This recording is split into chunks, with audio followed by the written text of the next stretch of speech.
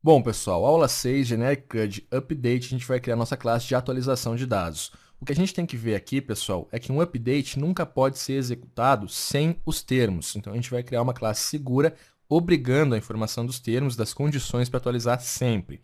A gente vai utilizar prepare statements e a gente tem também que utilizar o store procedures. Então, a gente vai novamente trabalhar com parse string. Eu quero que vocês façam o seguinte, abram aí o seu read class, ok? Dê um arquivo, salvar como e salvem aí na pastinha com como update.class.php. Depois de fazer isso, eu quero que vocês limpem aí a sua classe, deixando os métodos em branco, ok? Pode manter o getResult, o getRawCount e o setPlaces. E o método que a gente tinha forRead pode deletar também. A gente tem aqui todos os métodos vazios para trabalhar do zero novamente. Vamos iniciar nossos trabalhos então. Vou alterar aqui o nome para update.class, classe responsável por atualizações genéricas no banco de dados, copyright já está certo. Nome da classe, update. A gente tem que ter aqui atributos que viabilizem a gente trabalhar com update seguro. Então, a gente vai começar aqui tendo um private tabela, vamos ter um private dados, que a gente vai voltar a inserir dados aí na tabela para fazer essa atualização. A gente vai ter também um private termos, que vão ser as condições de atualização. Os places se mantêm para a gente poder manipular aí a parse string e o result para a gente poder debugar. O nosso PDO Statements, como sempre, vai ter o nome da classe, então vai ser update, e o atributo de PDO se mantém como com. O nosso método facilitador agora vai ser o x update, correto? A gente vai ter que ter a tabela, vamos ter que ter os dados, esses dados serão um array, então array dados, e como eu falei, a termos e a parse string, dessa vez são obrigatórios. Como esse parâmetro vai obrigar a informação, eu não preciso criar uma condição, como a gente fez antes, para poder armazenar, correto? Eu simplesmente armazeno. Mas vamos antes pegar aqui os nossos parâmetros iniciais. Então, this tabela igual string no parâmetro tabela, this dados igual a dados, não preciso validar, porque já está validado aqui na entrada, tem que ser um array, e this termos igual ao parâmetro termos. Já posso vir aqui também, parse str, parse string, these places. Pronto, vamos já debugar para a gente ir vendo o que está acontecendo, tá? Então, vou vir aqui abaixo, variável update igual a new update. Variável update, x update. E todos os parâmetros são obrigatórios, como eu falei para vocês, ok? A nossa tabela aqui vai ser a ws setviewsagent novamente. Os nossos dados, a gente vai criar um array aqui em cima. Então, variável dados igual, abre conchetes, ponto e vírgula. Tem que ser aqui com D maiúsculo. Ok. Agente name vai receber opera, vírgula. Agente views vai receber 50. Então, a gente vai manipular aqui através do ID. A gente tem lá, ó, agente ID para fazer a manipulação e os nossos campos, ok? Sempre que eu selecionar o ID, a gente vai trocar para Opera com o agente views 50. Então, os dados estão prontos, vamos passar os nossos termos. Eu vou ter where agente ID igual dois pontos id. A nossa parse string, então, vai ser id igual 5, por enquanto, tá? Vamos manipular o nosso 5 aqui. Beleza. Tudo certo para debugar. var dump update, ponto e vírgula. F5 para atualizar está aí. Tabela armazenada, agente name opera, agente views string 50. Condição, where agente id dois pontos id e os nossos places já está pegando id string 5. Temos tudo que a gente precisa para manipular a nossa classe. Vamos vir aqui abaixo, this get syntax. E já posso passar o this update e deixar ele comentado, tá? Ctrl barra então.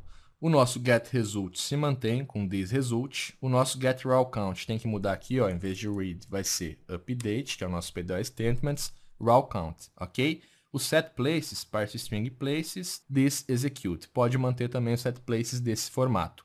Vamos aos nossos métodos privados então. Primeiramente, nossa conexão this com igual a parent. Você percebe que aqui é sempre igual, né, pessoal? Segue a mesma lógica. Dá o get com. Aqui, this update será igual a this com prepare this update. Então, eu reescrevo o meu atributo aqui quando eu executo a conexão, tá? Já criando aí a carry preparada. Aí no nosso get syntax, a gente tem que montar os nossos links através dos nossos dados que é quem vai estar armazenando os nossos links, ok? Vamos lá então. Primeiramente, for each this dados as variável key recebe variável value. Então, o nosso key vai armazenar os links. Variável places, abro aqui, perceba que isso aqui é uma variável e não o nosso atributo, correto? A gente vai ter o places aqui, será igual a variável key, ponto para concatenar, vou passar aqui aspas simples, ponto novamente, e vou pegar o key de novo. O que a gente tem que fazer aqui é criar os links através do segundo key, correto? Então, espaço igual, dois pontos key, a gente poder montar a nossa carry de atualização. Já podemos vir aqui, ó, vardump, para você ver, no nosso array place que a gente criou aqui. F5 para atualizar, o que a gente tem é o zero, string agent name igual agent name, ao link agent name, e agent views ao link agent views, correto? O que, eu faço? Eu vou voltar isso aqui agora para uma string. Então, variável places, vou reescrever ela, igual implode, e vou separar por vírgula. Então, vírgula espaço na própria places. A gente vai reescrever echo na variável places, você vai ver que a gente já tem uma sintaxe aqui, agent name igual dois pontos agent name, vírgula, agent views igual dois pontos agent views. Tudo pronto então, pessoal, já podemos montar a nossa carry. Então, vou vir aqui abaixo agora, this update igual update, passo meu laço, set, laço novamente, espaço, laço novamente. O update aqui vai receber o quê? Update tabela. Então, this tabela. O set aqui tem que pegar o nome da coluna igual ao link, vírgula, coluna, link, certo? A gente tem isso no place, que a gente acabou de debugar aqui, ó. Tá certinho também. E aí, por final, a gente vai ter os termos de atualização. Então, this places. F5 para atualizar.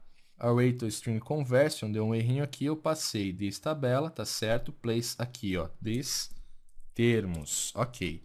F5 novamente, vamos ver agora update ws site views agent set agent name igual dois pontos agent name agent views dois pontos agent views where agent id igual a dois pontos id tudo certo pessoal o que a gente tem aqui também manipulado é que o id é igual a 5 a gente só precisa aqui mesclar esses dois arrays na hora de executar então a nossa carry está pronta vamos ao nosso execute primeiramente a conexão então diz connect para pegar o PDO já vamos remover aqui, ó, comentário para a gente debugando. F5 para atualizar. CountDefned, update, dois pontos update. Vamos ver o que deu aqui. Aqui eu passei update em vez de execute. Ok.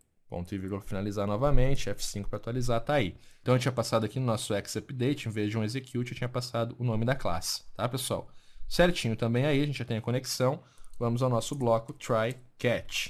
Aqui vai receber o PDO exception, variável e, podemos abrir a nossa classe read agora para pegar o erro do mesmo formato, mantendo o padrão.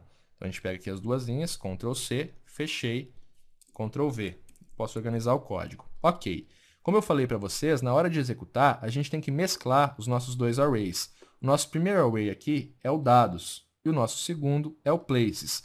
Ao mesclar esses dois arrays, a gente vai ter todos os valores a serem inseridos para fazer o prepare statements através do execute, como a gente fez lá na nossa primeira classe de cadastro, e a gente vai ter também aqui o substituição, ok? Então, vou vir aqui, this update execute, ponto e vírgula.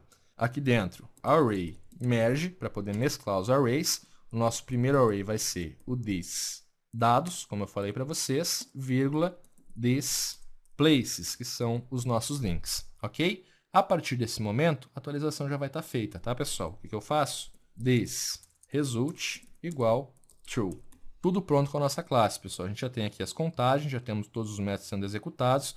Vou dar um F5 para atualizar. Você vê aqui o result boolean igual true, ou seja, atualizou. F5 para atualizar. O ID 5 agora é o Opera e tem 50 visitas. Vamos aqui fazer a manipulação. Para mim verificar, vou até vir aqui dar um Ctrl barra, nosso vardump, para parar de debugar. Tá? F5 para atualizar, agora não vai vir nada. E a gente simplesmente vai debugar com o update. Então, if update get result, quer dizer que executou o update. Mas nem sempre vai querer dizer que atualizou, porque a gente está utilizando o prepare. Então, ele consegue identificar quando executou e quantos dados foram atualizados. Eu vou fazer o seguinte, echo, laço, dados atualizados com sucesso. E vou passar um HR aqui, ok? F5 para atualizar, daí a nossa frase. Dentro do nosso laço, eu vou passar update get raw count. F5 para atualizar, zero dados atualizados. Vou mudar aqui o ID para 6. F5, 1 dados atualizados, ok? Se eu mudasse aqui, ó, em vez de agent ID igual ID, fosse maior igual ID e passasse aqui um 4, por exemplo.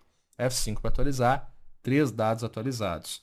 Vamos botar aqui ó, o ID igual a 1 e vou passar aqui um 80 visitas. F5 para atualizar, 8 dados atualizados. F5 novamente, 0 dados. Então eu consigo ver se a atualização realmente alterou algum dado da tabela. Vamos dar uma olhadinha agora no nosso Stored Procedures, correto?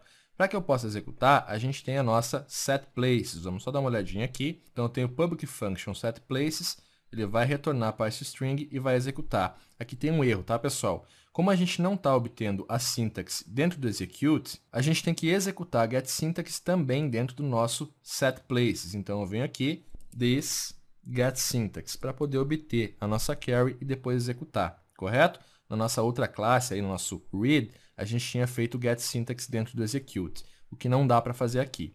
Vamos lá então, pessoal. Voltamos aqui ao Generic Thread Update e vamos executar agora o nosso Stored Procedures. Para mim alterar a condição, eu vou fazer o seguinte. Igual, novamente, eu vou passar aqui os 5, ok? E vou passar aqui ó, 120 views e Firefox. Agora aqui abaixo, não vou debugar em tela, mas vou fazer a atualização igual, tá? Variável update, set places, e a nossa parse string agora vai ser id igual a 6. A gente tem lá 6, 7 e 8, ok? Ponto e vírgula, e vou passar mais dois aqui, ó, 7 e 8. Só com isso aqui, a gente vai executar a nossa carry. Vou dar um F5 para atualizar, deu um dado aqui, erro na linha, o prepare não conseguiu fazer a execução, Aqui no update eu dei o this get result em vez do this get syntax. Ok. Agora sim, F5 para atualizar, zero dados atualizados com sucesso, mas se a gente vir aqui, der um F5 para atualizar, você percebe que o 5, o 6, o 7 e o 8 foram atualizados em uma vez só. Se eu voltar aqui e mudar agora para Chrome, todos vão ser atualizados novamente. Ó, F5 para atualizar, obviamente que vai contar apenas um, porque eu estou executando aqui a contagem do getResult, ok? mas na nossa tabela, F5 para atualizar, todos viraram Chrome.